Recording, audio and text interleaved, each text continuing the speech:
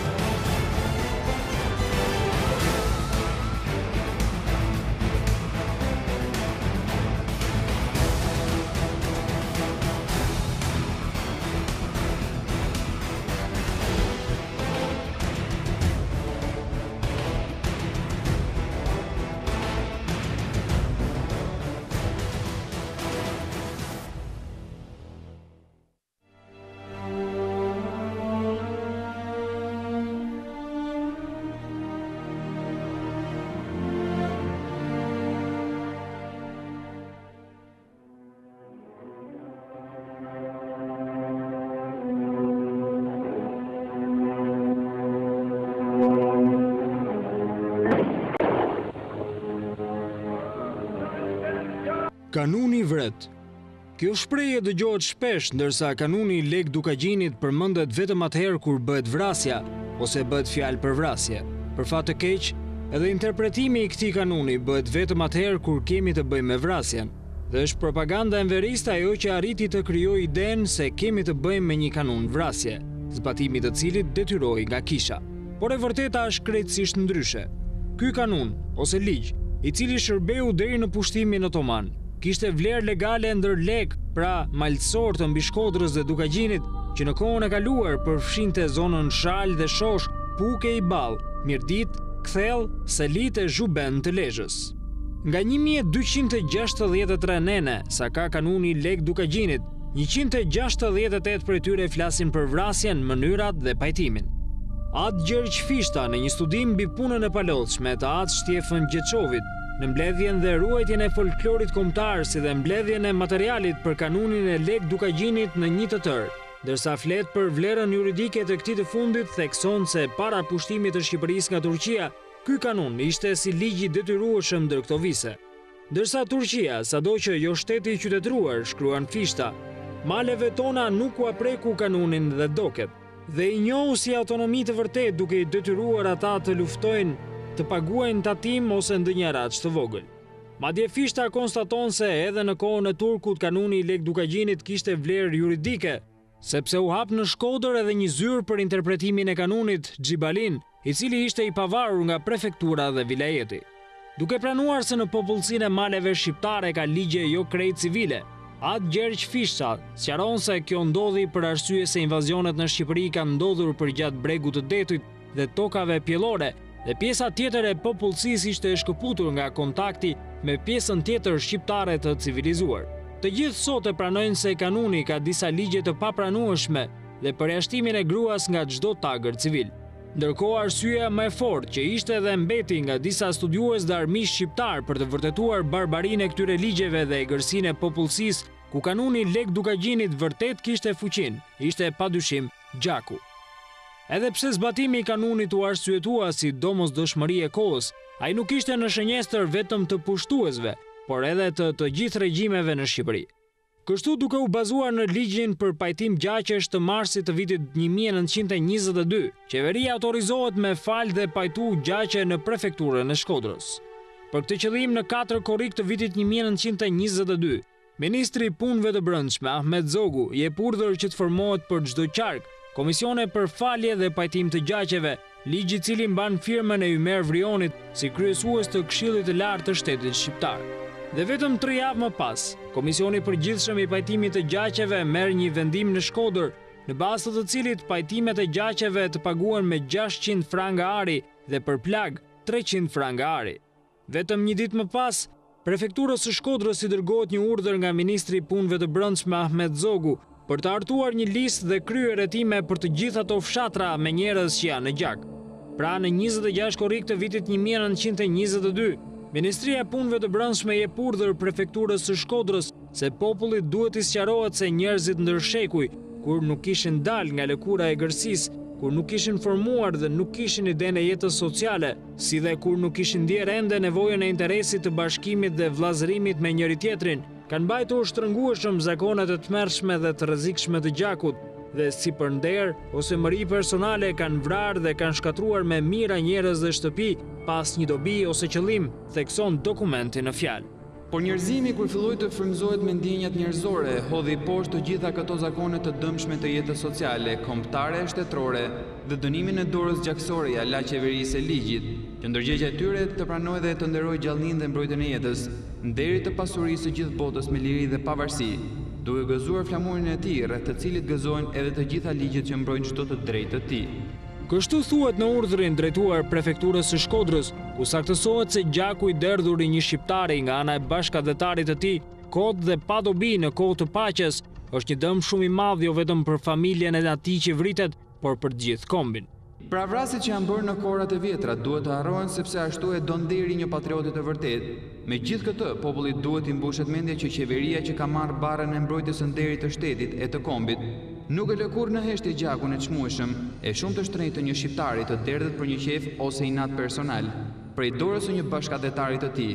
Dhe ata zemërgure shpirtzezë që me një ide të egër dhe tendencë të shëmtuar shtyhen për të qenë një shembull i tmerrshëm në gjithë botën shqiptare, Nuk do të vonoj kurrë t'i dënoj me gjithë çka kam për t'u larguar nga ky zakon i keq i tmerrshëm. Kështu premton ministri i Punëve të Brendshme, Ahmet Zogu, përmes letrës dërguar Prefekturës së Shkodrës në njëzet e gjashtë korrik një mijë e nëntëqind e njëzet e dy. Vetëm dy ditë pas lëshimit të këtij urdhri, Prokuroria e Shkodrës i drejtohet Ministrisë së Drejtësisë, ndërsa i bën me dije se nga Prefektura kishte marrë vendim për falje dhe pajtim të gjaqeve, Por e kishte të paqartë se si duhet të veprojë me të arratisurit e pandehur dhe të gjykuar që nuk i janë dorëzuar drejtësisë. Cila do të jetë marrëdhënia e Zyrës së Drejtësisë me Komisionin për Pajtimin e Gjaqeve? Cili do të jetë afati i shpalljes dhe pajtimit? A do të përfitojë nga falja ai i cili është në burg për gjakmarrje? dhe cili do të jetë fati i atij që është jashtë prefekturës së Shkodrës dhe gjaku i është falur nga një qytetar shkodran. Dhe derisa Ministrisë së Drejtësisë filluan t'i arrijnë listat me gjaqet e pajtuara dhe ato të familjeve që vazhdojnë të jenë në gjak, koha po kalonte. Por ishte qartë se me dekretimin e ligjit për pajtimin e gjaqeve, asnjëri nuk guxon të përsërisë gjakmarrjen, në të kundërtën, për të pabindurit, masat ishin shumë të rrepta, do t'i digjej shtëpia, familja e tij do t'internohej, Pasuria e paluajtshme do të shitej dhe paratë do të përfundonin në arkën e shtetit.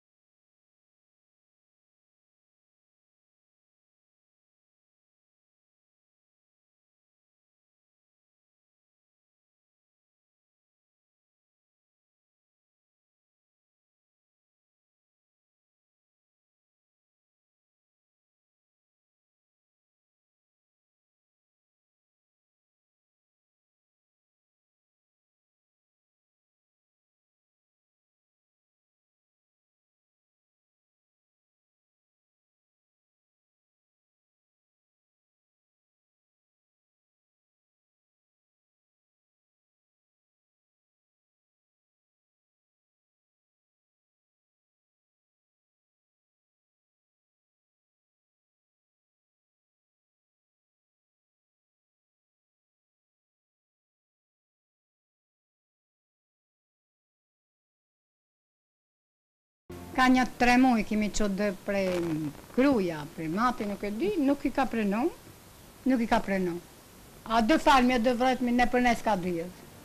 I është drejtuar edhe Komitetit të Pajtimit dhe kryetarit Gjin Marku.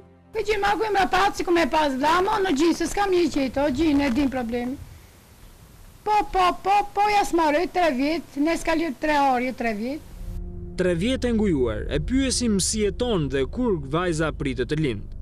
E di ç'po erti ja, jo sa të ketë domethënë. Ne domate, ne kokë krek, ne gjë, të dje me tension të ulët, vjen në hallin tim fëmija që do lindë. Ku të, ku të, ku të shkosh? Se s'ka çdo tjetër.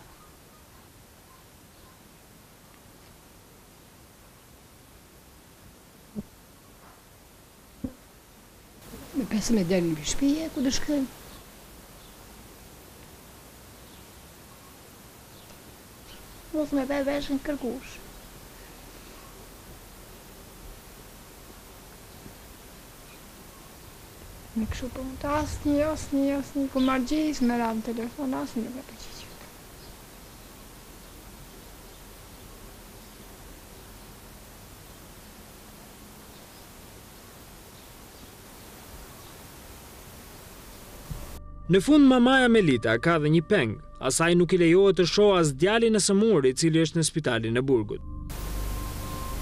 Unë më keq s'ka. Ky drejtor Buxheviq ishte. Ma prani pak djalin s'kam me kom hy paj thash. A qeta është vendi tha se është edhe ilaçe dhe spital. Do me thanë e nis me unë e nish nosh. Dhe deri sa mamaja e dorërasit Shpëtim Ziza flet, na sillen vërdallë edhe pamjet e dhjetë vjeçarit të vrarë Bekim Çenga. Është e qartë se kemi edhe dy të vdekur të gjallë, Melita dhe Rabije Zizën, që nuk i kap as ligji dhe as kanuni, vetëm se janë të dënuara të jetojnë. Si rasti i familjes Gjeloshaj, ashtu dhe i familjes Zizaj, kështu shpjegohet nga kryetari i Komitetit Pajtimit Mbarëkombëtar, Gjin Marku. Të flasësh për traditën dhe kanunin këtu duket sikur po e nxisim ose po promovojmë gjakmarrjen. Gjakmarrjen e ka ndaluar në mënyrën më ekstreme si akt i dënimit kapital kanuni, sepse ka vendosur mënyrat e procedurës së marrjes së gjakut edhe Faktin që ka vendosur institucionalisht traditën dhe detyrimet edhe nenet e kapitujt e veçantë për pajtimin dhe faljen, pikërisht ai e ka çuar në në mund të them në ekstrem pamundësinë e veprimit për ta marrë gjakun. Mund të kalonin breza të tërë dhe s'arrije dot ta merrje gjakun nga mënyra se si e përcaktonte procedurën e marrjes së gjakut kanuni. Sot vrasjet janë barbare, janë vrasje jashtëzakonisht të rënda, Ka kërcënim familjesh, ka kërcënim fëmijësh, grash, të moshuarish, gjë që nuk mund të jetë kurrsesi e pranueshme nga logjika vetë e njeriut që mendon se s'mund të jetë traditë kjo e jona, s'është as traditë e asnjë kombi.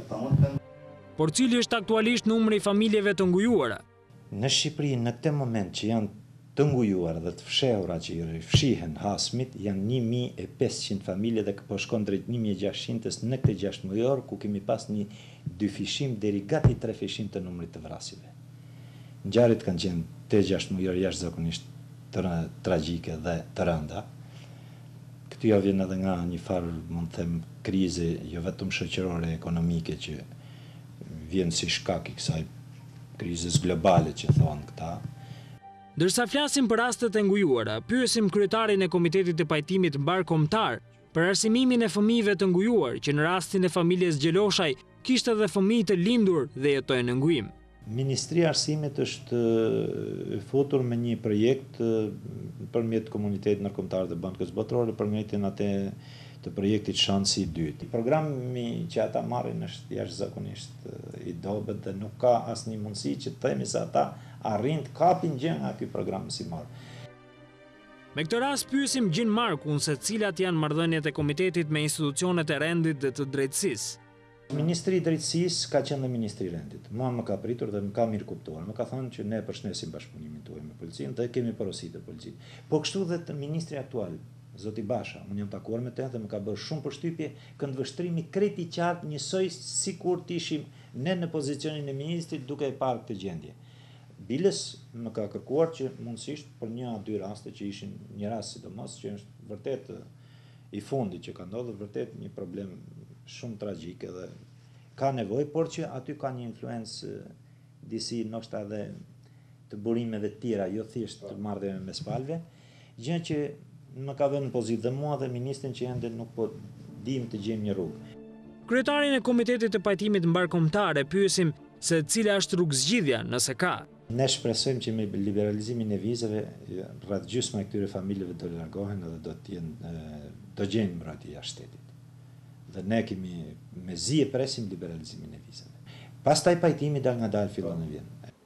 Sot mbi nëntëdhjetë për qind e vrasjeve në emër të kanunit e në ditët e para të demokracisë edhe njëqind për qind prej tyre nuk kishin të bënin fare me kanunin ndërkohë që ngujimet aktuale janë një sakrificë që vetëm kanuni nuk i parashikon Lidhur me këtë fenomen, policia dhe drejtësia në Shqipëri kanë një tjetër këndvështrim, ashtu si edhe shifrat zyrtare që flasin ndryshe.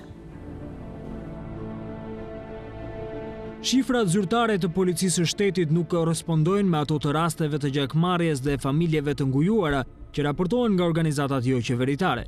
Sipas Policisë së Shtetit, nga viti një mijë e nëntëqind e nëntëdhjetë e tetë janë kryer gjithsej dy mijë e katërqind e tridhjetë e shtatë vrasje, dyqind e dhjetë prej të cilave me motiv gjakmarrje. Gjatë pesë viteve të fundit janë ndaluar dhe arrestuar pesëmbëdhjetë autorë të vrasjeve për motive gjakmarrje dhe që të gjithë janë hetuar. Për sa i përket masës së dënimit të dhënë nga gjykata ato variojnë nga pesëmbëdhjetë deri në njëzet e pesë vjet burg. Si trajtohet fenomeni i gjakmarrjes nga ana e Policisë së Shtetit, flet drejtori i Krimeve të Rënda të Shqipërisë Nikolin Bala. Po të trajtojmë si fenomen gjakmarrjen është një fenomen që është shfaqur me kohë me vite përpara që ka qenë një e trashëguar tek sidomos tek zonat veriore në në vendin tonë. Unë do e marr një do ta do ta trajtoj ndërtimin si si është interpretuar nga ana e policisë sidomos vitet e fundit.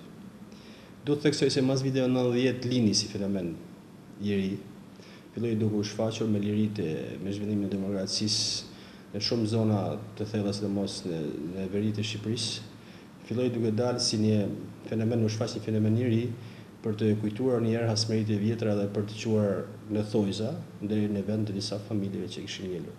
Por, e them me bindje të plotë, pa kuptuar se çfarë po bënin, pa njoftë kanunin, iu referoheshin kanunit, por pa ditë se ç'është kanuni. Të përballur para këtij, kësaj situate, filluan disa ngjarje, të cilat ishin shqetësuese për policinë, e u rishfaqën, Mbas vitit nëntëdhjetë e shtatë, kur situata ishte tepër kaotike me rrëmujët e mëdha që u bënë vitin nëntëdhjetë e shtatë dhe ranë shumë armë në duart e popullatës, përsëri u rishfaq. Edhe po t'i referohemi shifrave nga vitit nëntëdhjetë e tetë, ka pas nga pesëqind e shtatëdhjetë e tre vrasje që kanë qenë vitin nëntëdhjetë e tetë, dyzet e pesë kanë qenë për gjakmarrje. Por, ky tregues ka ardhur duke në renie, nga masat që ka marrë policia në renie. Deri në vitin dy mijë e nëntë, që ra, ka qenë evidentuar në totalin e vrasjeve që ka evidentuar Policia e Shtetit, vetëm një një vrasje ka qenë për motivin e gjakmarrjes.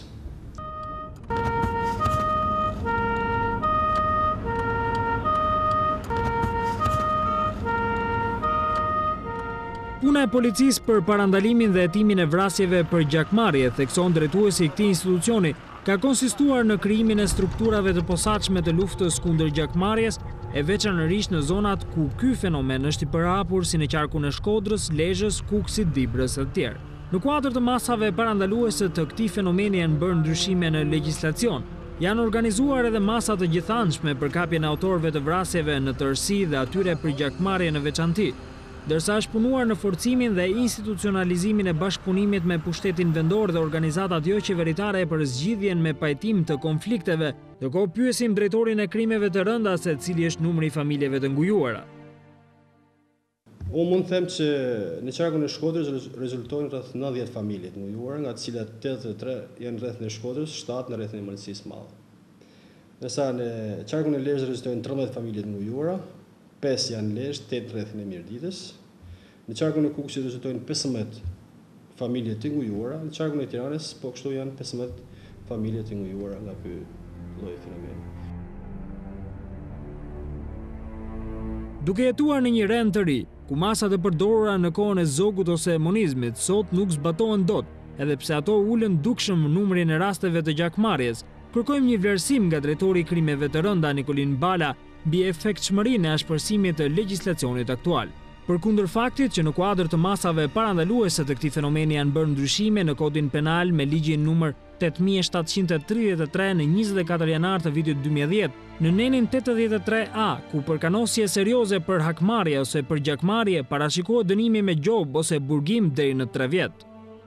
Jam plotësisht dakord që edhe sanksioni, domethënë masa shtërnguese ose masa e lartë e dënimit për këtë lloj vepre penale ka vlerat e veta tek parandalimi, por nuk është gjithçka. Duke pas parasysh këtë, ka shkuar ndërhyrje në kodin kodin penal janë ndryshuar, është shtuar neni për kanosjen, për për..., njëkohësisht edhe sanksioni i dënimit për vepra penale që mbas hetimit vërtetohen që kanë motivin e gjakmarrjes. Ka shumë rëndësi, është forca intelektuale e këtyre zonave që të kontaktojnë, të organizojnë simpoziume të ndryshme, takime të ndryshme, kuvende, po ta quajmë ndryshe me komunitetin që t'i çlirojnë nga ky nga ky ankth. Por çfarë thonë konstitucionalistët për fenomenin e gjakmarrjes, i cili është shuar me sukses gjatë periudhës së monarkisë me një ligj të rreptë, gjatë kohës së monizmit përmes mekanizmit të dhunshëm partiak dhe i njëjti është rikthyer në Shqipërinë demokratike. Unë besoj që shpjegimi nuk është dhe kaq i thjeshtë. Konkluzioni është i thjeshtë. Dy epoka që nuk kanë pasur këtë lloj fenomeni, nuk e kanë njohur. Ka qenë i përgjumur, ka qenë letargjik, por gjithsesi, pasojat e rënda të vrasjes së individëve dhe pasimit të këtij zinxhiri nuk kanë ndodhur. Ndërkohë që sot, sot shumë pak, në kohët e fundit, por ndoshta në fillimet e ndryshimit, nga vitet nëntëdhjetë e një, nëntëdhjetë e dy, pati një hov, Unë besoj që arsyet janë të shumta. Sigurisht që një nga arsyet, ajo çfarë unë besoj ka qenë që si në rastin e monarkisë, sistemit monarkik, por më tepër në atë të sistemit komunist, një regjim shtetëror totalitarist i zbatimit të një ligji, po jo vetëm i zbatimit të ligjit, i zbatimit të urdhrit shtetëror ka qenë arsyeja që e ka përgjumur apo e ka vendosur në letargji këtë fenomen. Ndërkohë që demokracia duke sjellë hapësirën e lirisë, duke zgjeruar hapësirën e lirisë, siç duket ka pasur dhe këto kosto.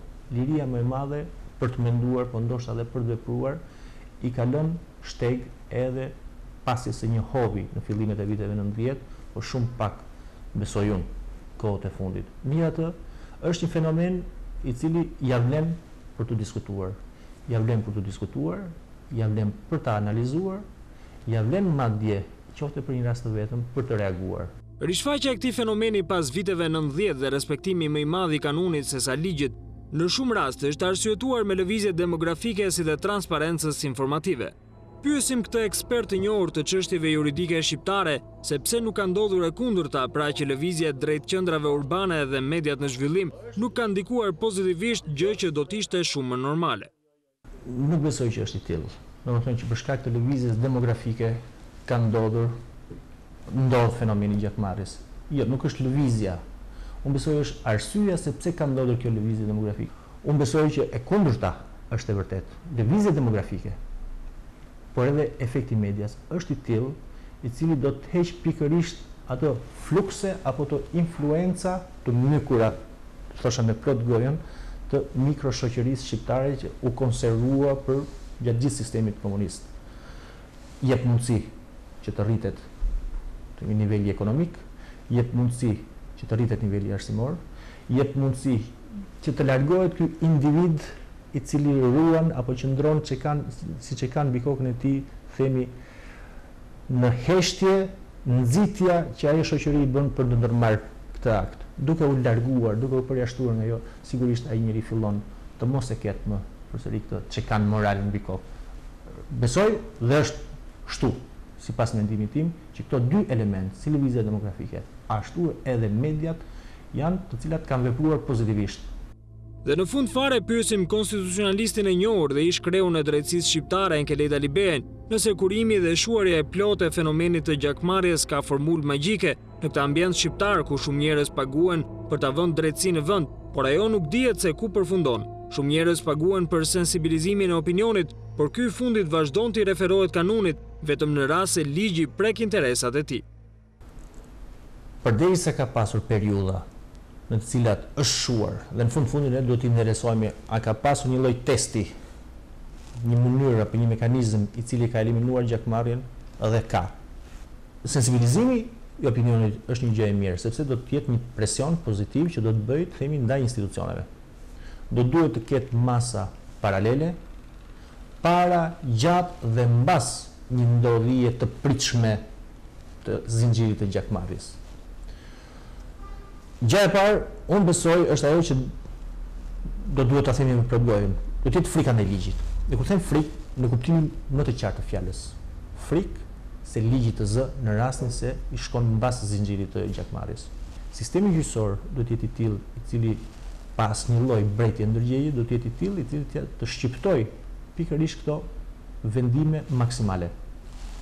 Veç kësaj, do duhet ndërmarrë paralelisht disa masa. Së pari, të ketë një lloj trajtimi ekonomik shumë herë më të mirë për ato të cilat janë viktima eventuale të të këtij zinxhiri të gjakmarrjes. Dhe kur them viktima, nuk ndaj jo vetëm atë që tërheq këmbëzën, por dhe ai që është mbas armës. Një nivel ekonomik më i lartë do të bënte që njerëzit të mos e mendonin më si zgjidhjen e vetme për të ruajtur fytyrën e tyre morale në ambient thjesht dhe vetëm duke ndërmarrë veprime të tilla ekstreme. Jo, do të mendonin që kishin dhe kanë interesa të tilla pasurore për t'i mbrojtur, pasurore, arsimore, të progresit të tyre familjar. Të mendonin nga ana tjetër që atë që po e quaj hak do ta merrte shteti, dhe nga ana tjetër, vetë shteti do duhet të ndërmerrte, besoj unë, në mënyrë më specifike, jo se nuk i ka ndërmarrë, të ndërmerrte në mënyrë specifike edhe një lloj reforme në legjislacion, të ishte e tillë që jo vetëm të reagonte ndaj pasojës, por dhe me qëllim parandalimi. Pra, problemi është serioz, por si do të luftohet ky fenomen? Detyrë e shoqërisë shqiptare është që të sensibilizojë këtë masë të indoktrinuar, e cila sot është bërë pjesë e qytetërimit dhe vazhdon të abuzojë me vlerat e kanunit, ashtu sikurse dhe me ligjin, ndërsa policia, prokuroria dhe gjykata duhet të jenë shumë më sensibël ndaj këtij krimi, i cili nuk është vetëm thjesht krim.